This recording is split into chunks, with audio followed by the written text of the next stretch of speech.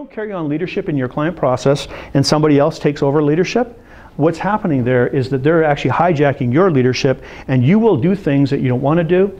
You're going to get paid less. You're going to turn around and do things for free. You're going to have an unsatisfied client at the end of the day. Because the, the second rule of leadership, if you will, uh, our first rule of leadership is everybody wants to be led by somebody with a higher level of leadership than themselves. Now you think about it. You meet all kinds of people every day. And there's certain people that you will listen to and certain people that you don't naturally listen to. Why is that? And it's got nothing to do with the clothes that they wear. It's got nothing to do with who they are as people. It's how they use their leadership.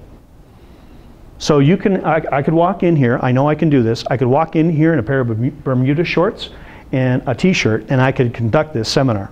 And you would still listen to me. Why? Because I have certain things I do in leadership that establish me establishes me as leader. Now, would you test me? Absolutely, you'd look at me funny. You would test me. And if you didn't, that wouldn't be normal. If I'm standing here, you know, you know, not looking the part, not playing the part, you're going to test me. And then from there, I have to establish leadership. So how do we do that with our clients? I'm going to give you a couple simple rules. Number one, first thing about leadership you got to know is the person asking the question is the leader. So if you're asking the question, you're in control. If the client turns around and starts taking over the question asking process, you need to turn around and ask the questions back. And this is harder than it sounds. So questions determine leadership. And you will be tested from time to time, and when you are tested, you better be prepared for the test. You're laughing. Heather's laughing. Do your clients test you? Test your knowledge?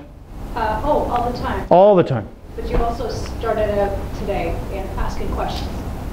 That's yeah. what I was smiling. Yeah, questions, asking the questions. So how hard are questions? Not that hard. Uh, there are a specific style of question that you would need to ask, and it's called open-ended. Open-ended questions have no answer that ends with yes or no. Okay? So when you're asking an open-ended question, it's something along the line with, hey, how you doing today? A little bit more depth, right? What would you do today if you could actually, you know, have your day the way you wanted it? Well, I'd be like, not here. I'd be on the beach. yeah, what would you do on the beach? Water skiing, of course.